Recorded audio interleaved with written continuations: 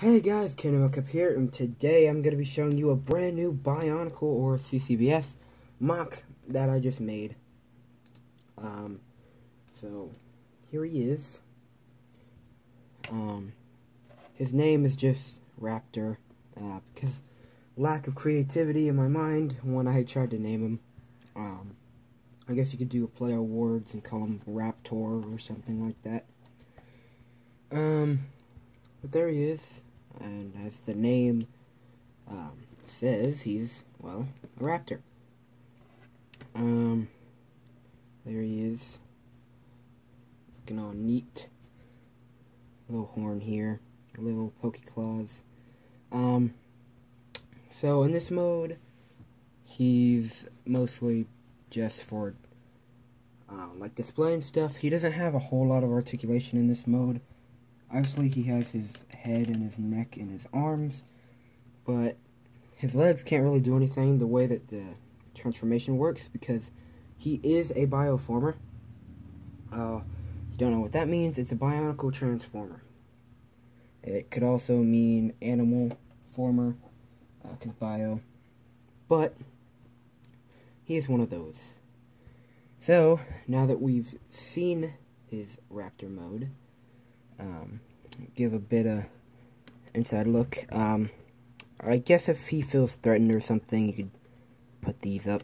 Kind of looks like a Triceratops if you do that, but um, that's that. Now we can get into his uh, humanoid or just uh, person mode. um, I don't know what you would call that, but um, first thing you want to do is get these arms and just splay them out to the sides like that. You want to take the legs, and they're sort of coiled up like that, so you're just going to bring those down and rotate them all the way around. So now you have it like this. Now splay the legs as well. This whole tail section will go under the uh, groin region in this panel or armor plate uh, will fold up like that. Then you could bring the legs down and you could bring the arms down and rotate the hands around for more of a humanoid look. Then you take this whole section on this ball joint and bring it down and the head will just fold down like a backpack and then you could stand him up.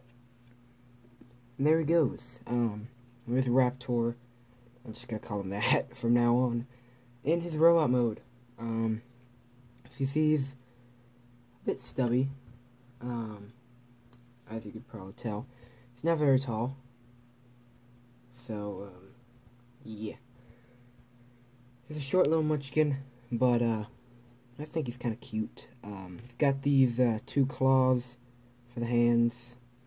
Uh, if you wanted him to have fists or something, you just, you know, these fingers are articulated, so you just push them in like that.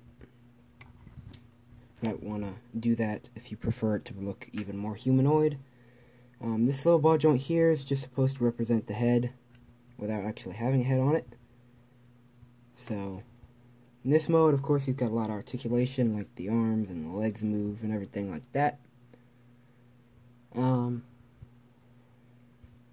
so yeah, this, it's not that great, but it's the best I could come up with, with the idea that I had, the parts that I had, and without having it have any parts forming at all. So, uh, I hope you guys like it, and if you do, make sure to hit that like button down below to show me that you do. And also, if you haven't already, please make sure to subscribe to the channel to make sure you don't miss out on any new content that comes from it. And I'll see you guys later.